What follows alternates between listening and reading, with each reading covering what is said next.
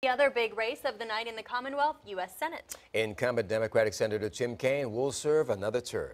He defeated Republican challenger Corey Stewart with 57% of the vote. 10 on your side's Maria Elena Balouris has reaction to his win.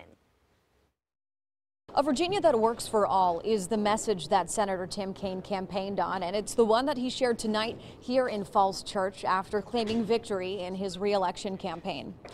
The race was called right around 7 o'clock tonight, just after the polls closed here in Virginia.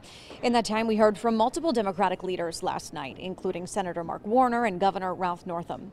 When Senator Kaine finally took the stage around 9.30, he said the results of tonight's election show who the people of Virginia are and what the state is all about.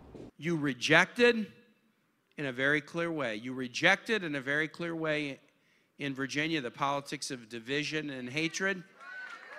And you rejected it because we've been there, we've done that, we got the scar tissue, we're not going back. Nobody will send us backwards. We're not going to do it. He also mentioned that the voters show that they want an economy for all, jobs for all, equality for all. And he also talked about that blue wave that we have heard a lot about this midterm season. He says what's more important, though, is the wave of compassion, caring, love, and justice that he also feels the voting showed in this election. So he says they obviously were happy to win, but now it's time to get to work. In Falls Church, I'm Maria Elena Balouris, 10 on your side.